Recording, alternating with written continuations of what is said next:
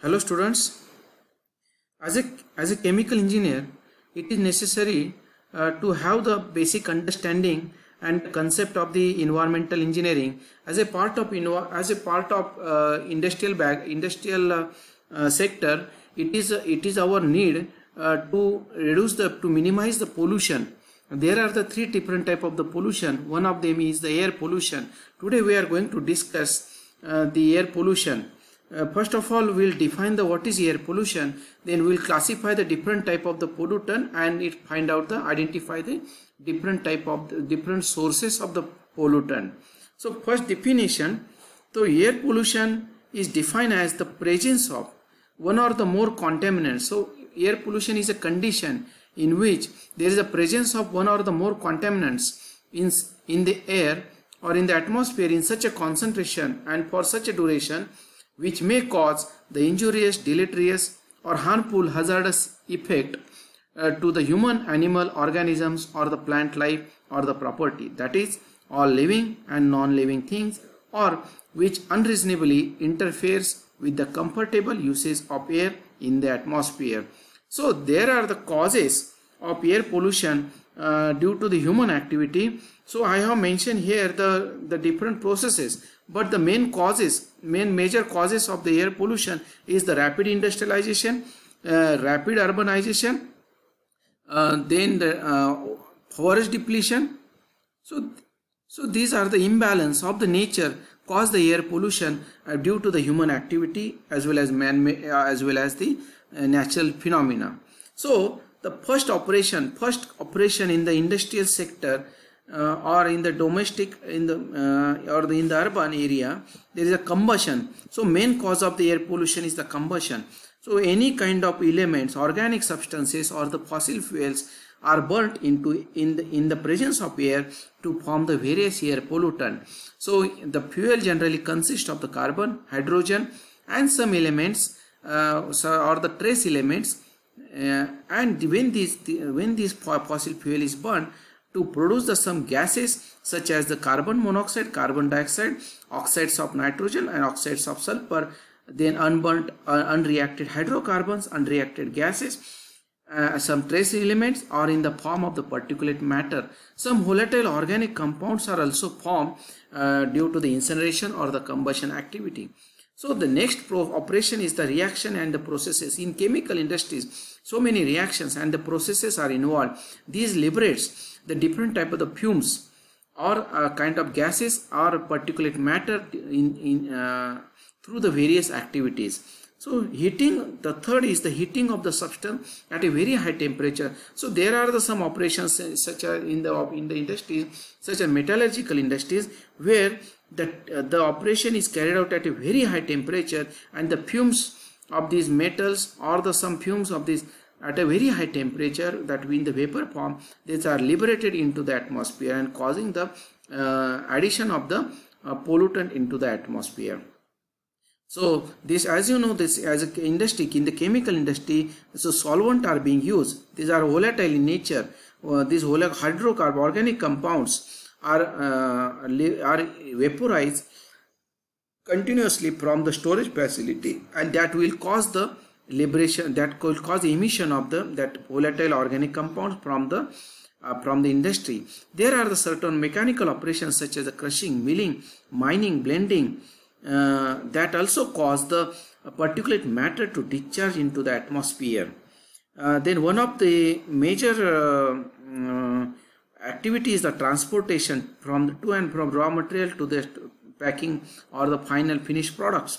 So that will also uh, responsible for uh, adding the some pollutant uh, due to the automobile transport.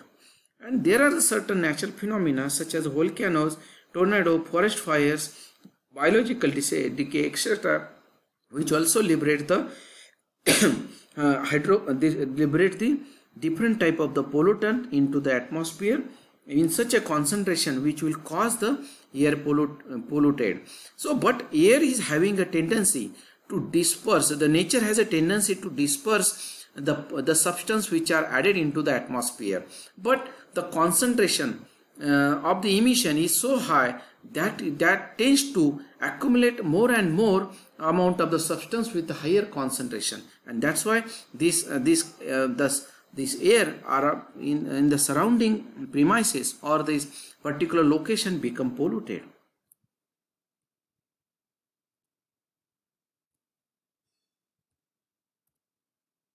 Now we'll find out the air pollution sources. So we will categorize the air pollution sources as a stationary sources as well as mobile sources. Uh, first classification is the stationary or the mobile sources. If you say the uh, if the pollu if the air pollutants are liberated from the particular source which is stationary such as industrial sector.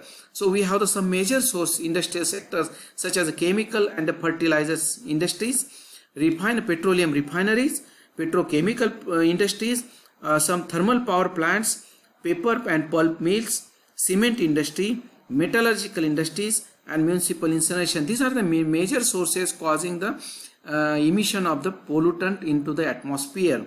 So, and their area sources, some of the operations which are also carried out in the uh, in the urban area, so that will cause the pollution.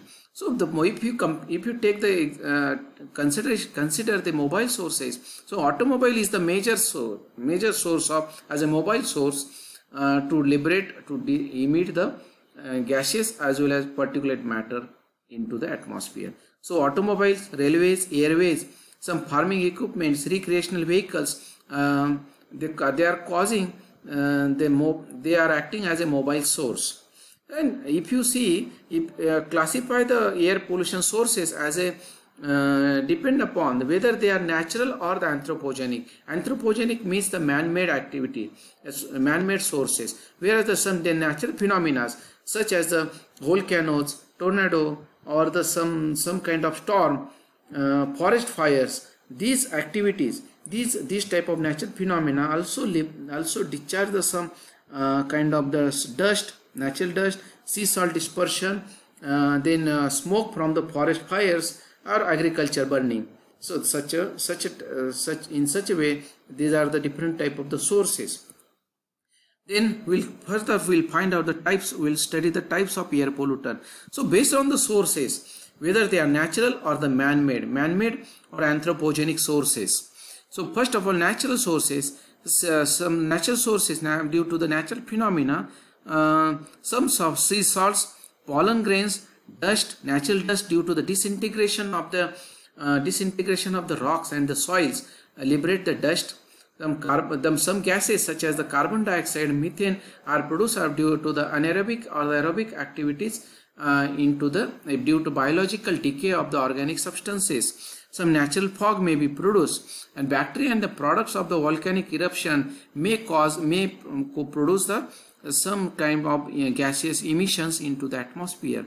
Some anthropogenic, there are so many anthropogenic activity or the man-made activity which are responsible for producing the air pollutant.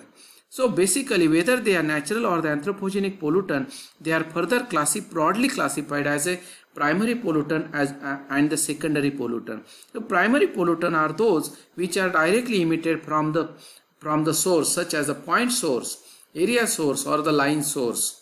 Uh, the examples of these are the carbon monoxide, uh, carbon dioxide, nitrogen oxides, sulfur, sulfur dioxide, some trace elements in or in the form of particulate matter and the gas vapor form like volatile organic compounds and hydrocarbons, uh, some natural products such as the sea salts, pollen, methane, uh, carbon dioxide uh, are produced and or the products of the volcanic eruption are nothing but the primary pollutant when these primary pollutants are added into the atmosphere they take part into the uh, into the second uh, with the in the secondary reaction uh, photochemically or and catalytically in the presence of sunlight to form the secondary pollutant. The secondary pollutant are the pollutant, pollutant formed from the primary pollutant in the atmosphere uh, through the reaction photochemical uh, photocatalytic reactions. So the example of the secondary pollutant are these nothing but the ozone, hydrogen peroxide, sulfur trioxide, sulfurous acid, acid formation react to aerosols. Um, uh, then the salts of the acids such as the sulfates and the nitrate salts then secondary major pollutant like peroxyacid, acetyl nitrate that is PAN or uh, or particulate polycyclic organic matter that is PPOM are also produced as a secondary pollutant after the reactions of the primary pollutant. Then classify the air pollutant basically into two broad categories. That is particulate matter whether they are suspended are called as suspended particulate matter particulate matter or respiratory suspended particulate matter. They remain in the atmosphere for long time. And the second category is the gases and the vapors. So if you take the consideration of the particulate matter uh, they are very fine size. Uh, the ranging from uh, submicroscopic level to certain 200 to 300 microns so this particulate matter may be inert in nature or they are highly reactive depending upon their chemical composition and the chemical composition of this particulate matter depends upon their source of origin. So if you classify the different type of the particulate matter, the first category is the dust. So the dust is produced due to the natural disintegration of these rocks and the soils. Their size is ranging from 1 micrometer to 200 micrometer and they are having the substantial uh, settling velocity so they do get deposited on the earth surface. The second category is the smoke. A smoke is a uh, nothing but the solid or the liquid particles that form a haze uh, having the range of point the size of the particle having the range of 0.01 mic to 1 microns and particularly they are they they uh, they are having the different uh, colors uh, the smokes are having the colors depending upon the depend upon the com its composition. Then third category is the fumes. Generally fumes is solid particles. They are ranging from 0.1 to 1 microns. They are released from the chemical uh, chemical uh, industries as well as metallurgical industries. Uh, they are nothing but the um, in the vapor in the vapor form the solids at a high temperature. This heating processes liberate these fumes. Then smog is a term which is a combination of the smoke plus fog. It's an abnormal behavior. It may be because of the excessive fog formation because of the moist or the mist uh, having the particle size or droplet size smaller than 10 microns um, that is water vapors uh, when combined with the some primary and the secondary pollutant in the form of smoke when they combine and the stagnant condition will cause the uh, photochemical smog behavior then fourth category, uh, the fifth category is the aerosols. They are very some small in size. They are uh, smaller than one micron. They are submicroscopic airborne suspension, whether they are either they are solid or the liquid.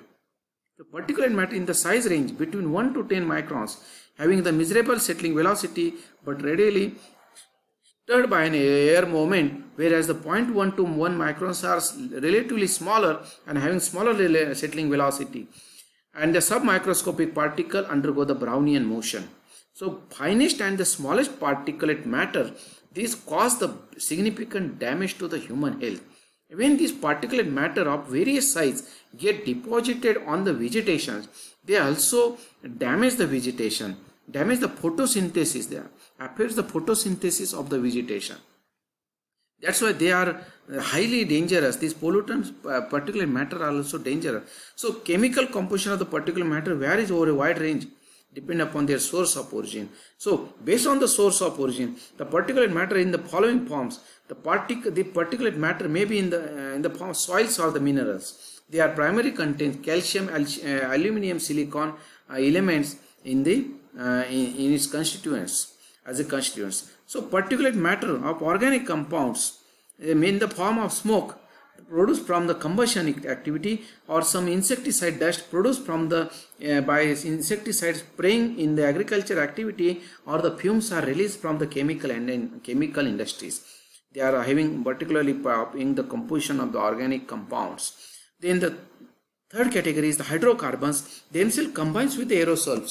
Uh, they are themselves are not harmful to the human health directly, but they combine with the, some aerosol droplet to form a reactive aerosol. Uh, that is one kind of particulate matter.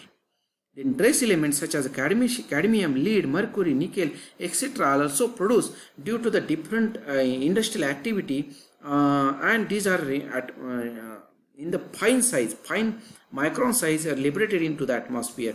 The most harmful component of incomplete combustion is grouped as, as a particulate polycyclic organic matter. Then the second category is the gases and vapors. The gases of sulfur compounds, major